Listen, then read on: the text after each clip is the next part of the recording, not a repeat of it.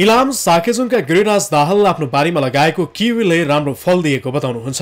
किवीको बिक्रीमा भने अघिल्लो वर्षभन्दा अहिले समस्या भएको उहाँको भनाइ छ। अघिल्लो वर्षमा भन्दा धेरै उत्पादन भएकोले बजारको अभावमा किवी बिक्रीमा समस्या भएको उहाँको गुनासो छ। सुलुबङ तालगाउँको किसान डिल्लीराम खतिवडा तारामणि खतिवडाको पनि माझमा गाड लागेर किवी फलेको छ।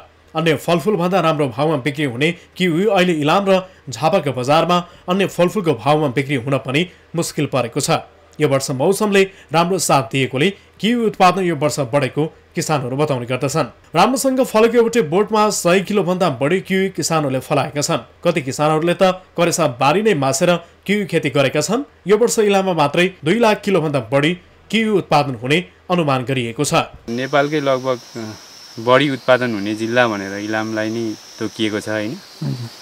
यसको लागि त दुई तिन सय क्विन्टलको हाराहारीमा चाहिँ उत्पादन भएको भन्ने बुझिन्छ है। नेपालको पूर्वाञ्चलमा मात्रै पाँच लाख किलो किवी उत्पादन हुने गरेको तथ्याङ्क रहेको छ। गएको आर्थिक वर्षमा इलाममा एक सय पैँतिस मेट्रिक टन किवी उत्पादन भएको थियो। त्यसमध्ये एक सय सत्ताइस मेट्रिक टन किवी जिल्ला बाहिर निर्यात भएको थियो।